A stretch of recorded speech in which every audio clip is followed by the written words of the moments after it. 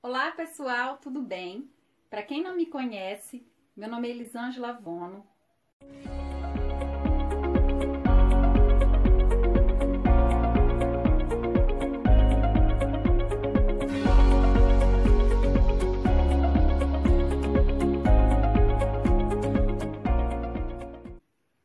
Hoje é sexta-feira, 11 de maio. Eu trabalhei na parte da tarde. Eu entrei 11 da manhã e saí às 5. É, e eu cheguei em casa, resolvi lavar o tapete da sala. Há um tempo atrás eu mostrei para vocês como eu lavo o tapete da minha cozinha de dentro, aquele que fica embaixo da mesa. Eu lavo ele na lavadora, né, como eu mostrei para vocês. Só que o da sala eu tenho que lavar no, no, no chão, porque ele é grosso, sabe? Então não dá para estar tá lavando na lavadora. Aí eu tenho que lavar, né, no chão e com a vassoura, né? E eu resolvi compartilhar com vocês porque a minha intenção é compartilhar as coisas que às vezes pode ajudar alguém, né? Desde a forma que eu, que eu lavo e os produtinhos que eu uso. Então eu filmei para vocês, eu coloquei o celular no tripé e filmei para vocês, né? Lembrando que nenhum jeito é errado. Eu só quero dividir com vocês o jeito que eu faço por aqui. Então vamos lá?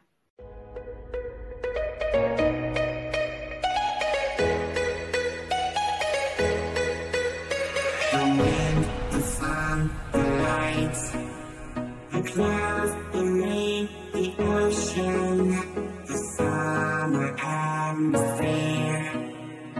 All we know is that we are here.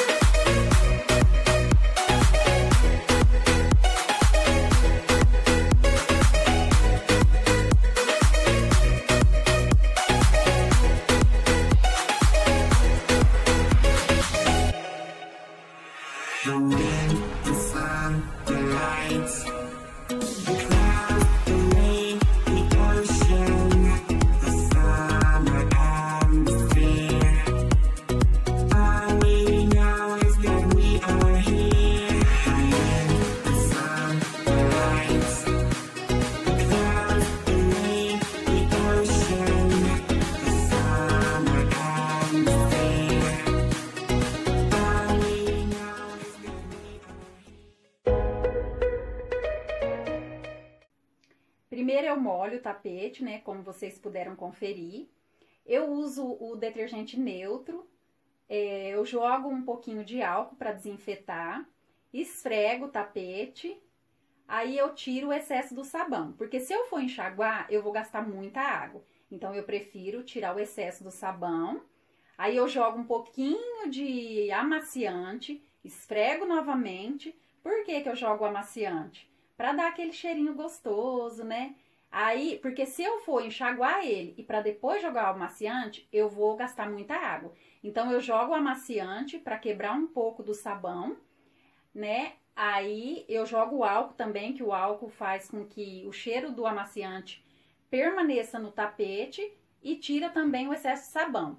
Aí que eu venho com a, com a mangueira tirando o restinho de sabão que ficou. Aí eu rapo e estendo ele no, ou no muro ou na grade, né? E é assim que eu faço, né? A cada 15 dias ou 20 dias. Geralmente eu lavo os tapetes aqui a cada 20 dias. É... Mas assim, numa vez na semana eu costumo fazer a faxina e sempre eu tô aspirando eles, né? Eu quero mandar um beijo todo especial para Débora Castro e para sua família. Débora, muito obrigado pelo seu carinho e pelo carinho da sua família, tá? Sinta-se abraçados por mim e um grande beijo para vocês. Que Deus abençoe a vida de cada um de vocês, tá bom? Beijo. Se você gostou desse vídeo, deixa aí o seu like, se inscreva no meu canal. Um grande beijo, fiquem com Deus, até o próximo vídeo e tchau, tchau.